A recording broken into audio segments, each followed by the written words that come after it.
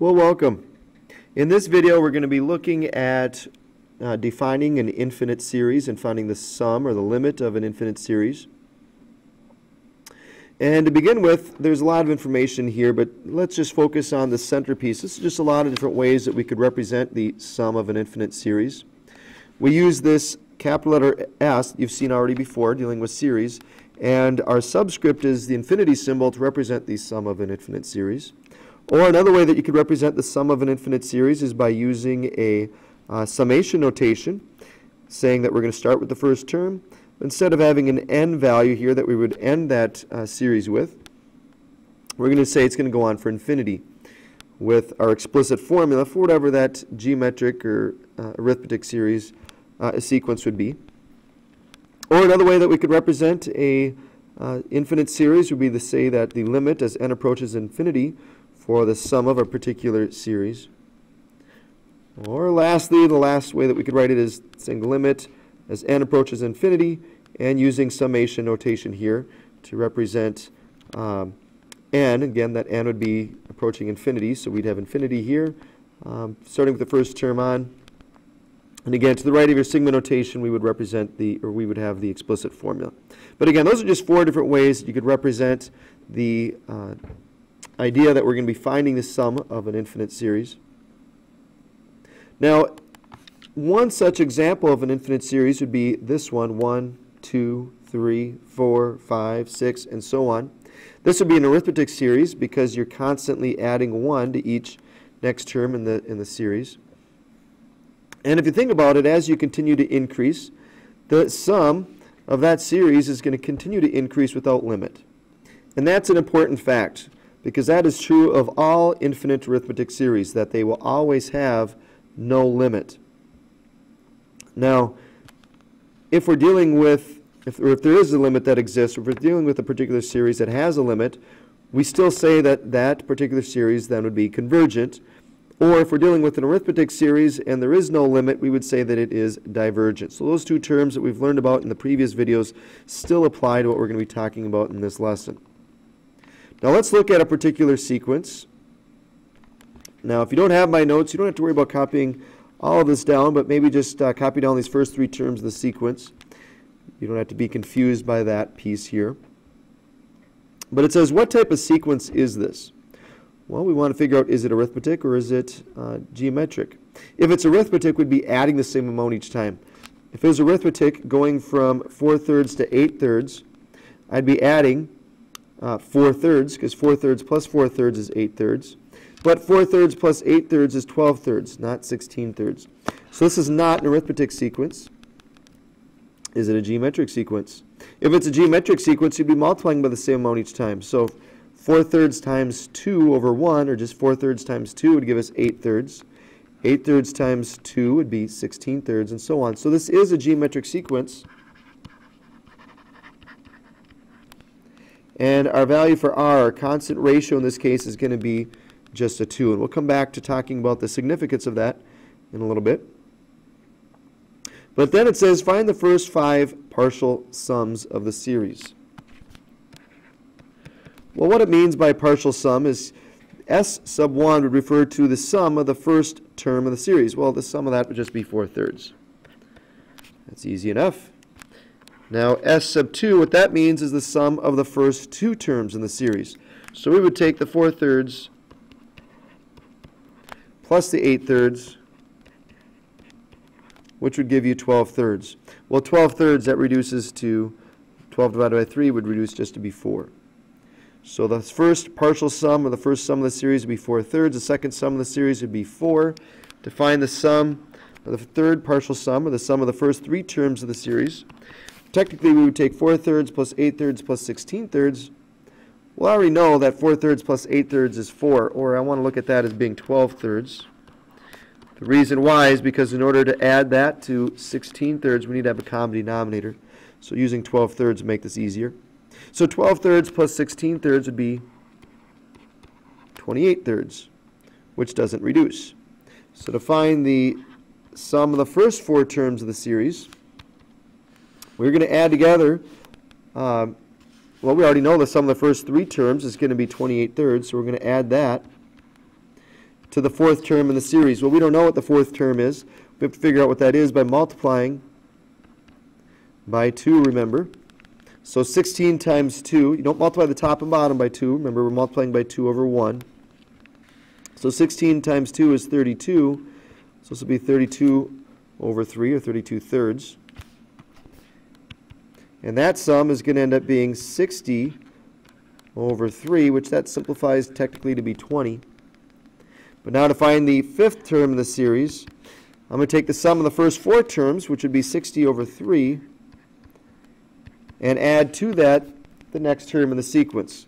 So I know that the fourth term is 32 over 3. Multiply that times 2, that gives me 64 over 3. So the sum of the first five terms of the series, then I'd add the numerators, which would be 124 over 3, and that does not simplify. So if we look at this, the sum of the first terms would be 4 thirds. The next sum of the first two terms are 12 thirds. The sum of the first three terms is 28 thirds. Then we had 60 thirds, 124 thirds. Here's what we're looking, here's what we're getting at. These sums are continuing to increase without any bound, meaning that there's not, they're not approaching a particular value. So what that means is part C, when it says, does these infinite series seem to converge?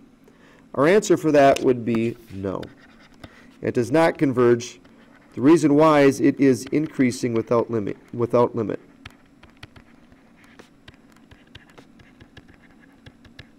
And if that's the case, if it's increasing without limit, oh, it diverges. Now there's a way that we could have figured all this out just by looking at this value for r. Without having to do all this work, we can figure out whether it's converging or diverging by looking at our constant ratio. How does that constant ratio help us? Well, let's look at the box here. In fact, the second part of the box would help us for that previous example because the value for r is going to tell us two things. It's going to tell us if it diverges or converges. If the value of r is greater than 1 or less than negative 1, the series is going to be diverging. So in that last example, our value for r was 2, which is obviously bigger than 1. So right off the bat, I could have figured out that it's going to diverge. Now, if that value for r is between negative 1 and 1, we know that that series is going to be converging. And this is the important piece to know what it converges to. Again, these are just a couple ways that we could show that we're trying to find the um, sum of a series. But to try to figure out what that series is going to converge to, we take the first term and divide that by 1 minus your constant ratio. Now again, it's important to note that this is referring to a geometric series because remember all arithmetic series are going to diverge. So if it's an arithmetic series, you don't have to go through this process. An arithmetic series is going to be divergent. Let's look at these first four examples here. Now you might notice that these first two examples are very similar. Now let's look at the um, uh, instructions here. This will help us. It says, which of the following could be convergent geometric series? For those that could be, give the limit. This first example, they're being tricky here. This is a sequence, not a series. So to answer the question, is it a geometric series? This particular example is a sequence. They're trying to be, they're trying to be uh, cute here, but you don't have to worry. I'm not going to do that to you on a quiz or a test. I will just give you the actual series like we have in Part B. But it is important to determine whether or not this series is geometric or arithmetic. Because if it is arithmetic, I know right away it's going to be divergent. So let's see if this one is geometric. Well, you might notice that the numerator is staying the same. Well, if it's geometric, that means that the numerator is being multiplied by 1. The denominator is going from 3 to 9, then to 27, then to 81. So the denominator is being multiplied by 3. So in other words, each fraction is being multiplied by 1 over 3. So our constant ratio here would be 1 third, which means it converges.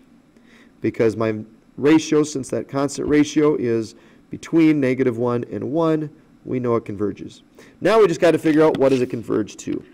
Remember we have this uh, formula, g sub 1 over 1 minus r. Well, I know that my first term here is 5 thirds. Let me move this. So we know our first term, like I said, is 5 thirds. We're going to divide that by 1 minus our constant ratio. Our ratio is 1 third. Well, hopefully you recognize that 1 minus 1 third, or we could change that 1 to be 3 over 3, would end up being 2 thirds. Well, we want to simplify this. We don't want to leave a fraction inside of a fraction, so here's how you'd simplify a problem like this. Take the numerator, whether it's a fraction or not, take that numerator, whatever it is, and multiply it by the reciprocal of the denominator. The reciprocal of 2 thirds is 3 halves, or 3 over 2. And what happens here is the 3's cancel each other out, and we end up getting 5 halves. Now you could just multiply 5 times 3 and get 15, and 3 times 2 and get 6, but then you have to reduce it. Reducing it before you multiply is sometimes easier, because then we have small numbers to work with. We have 5 halves, so we can see that that can't be reduced, so that is your answer. That is the limit that this particular series would be converging to. Let's look at the next one.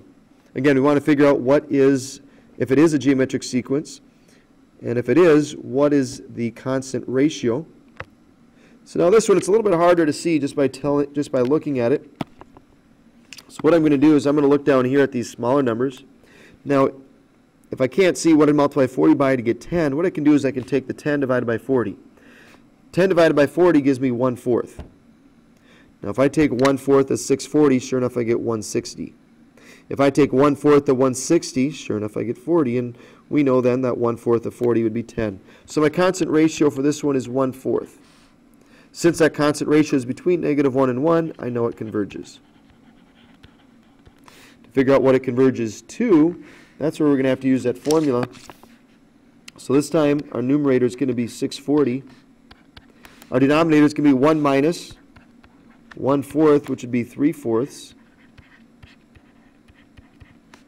So to figure out what this is, I would take that 640, multiply that times the reciprocal of 3 fourths, which is 4 thirds. And now to multiply these together, we're going to, the uh, denominator is going to stay the same because the 640, we can look at that as being uh, 640 over 1. So our denominator is going to be 3. Our numerator, we're going to have to take 640 times 4, which if you do that in your head or do that on a calculator, you end up getting 2,560. That can't reduce, so that is your answer. And by the way, you want to leave these as fractions. Let's look at the next one. Again, our step, first step is to always figure out if it's a geometric or arithmetic sequence. If it's a geometric sequence, in this case, You'd be multiplying the numerator by 5 and the denominator by 1, so we'd be multiplying by 5 here. So 1 half times 5 would be 5 halves. But 5 halves times 5 is 25 halves, not 9 halves. So this is not a um, geometric sequence. To see if it is arithmetic, you see are we always adding the same amount? And sure enough we are. We're adding 4 um, halves each time because 4 over 2 plus 1 half would be 5 halves. And 5 halves plus 4 halves would be 9 halves, and 9 halves plus 4 halves would be 13 halves. So this is a arithmetic series. So since it's arithmetic, it's going to be divergent. So why don't you guys try some of these on your own? So why don't you pause the video and try these. Again, always look to see if it's uh, like this next, I'll just tell you this one here. Remember this one here, it's got commas instead of pluses. So this is a sequence, not a series.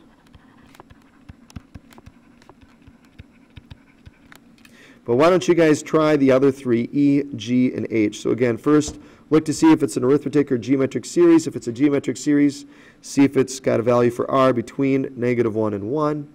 And if it does, figure out what its limit is by using that formula that we've talked about in this lesson.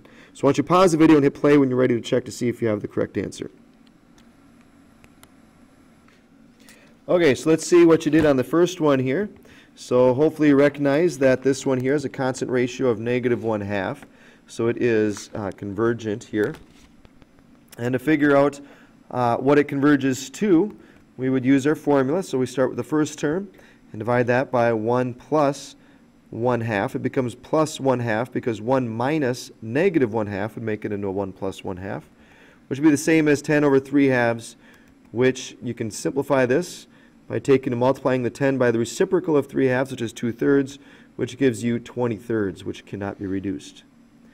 Next one's a little bit trickier. We have 1.25 minus 2.5 and so on. And so here we find that constant ratio is negative 2, so you're multiplying by negative 2 each time. So it's convergent. So to figure out what it converges to, we're going to use the formula again. But this time, the 1.25, because if I left it as 1.25 over 3, and if I did that on my calculator, you get 0.416 repeating.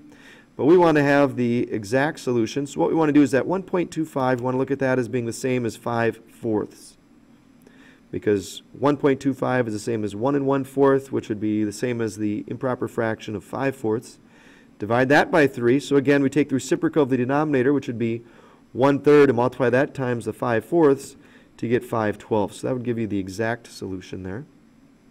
And lastly, you get this one, you have the constant ratio would be 1 half. But this time it's a positive 1 half. So this time when we take in our denominator 1 minus 1 half, it would actually be just 1 half. Multiply the numerator by the reciprocal of 1 half, which is just 2, or 2 over 1, and you get 20 as your answer. So that's it. So that is your notes for today. So the key thing to remember is this formula, and also remember that you always want to look to see if the value for r is between negative 1 and 1, or if it's bigger than 1 or smaller than negative 1 to determine whether it converges or diverges. And also recall that all arithmetic series automatically diverge. So with that, good luck now as you work on your assignment.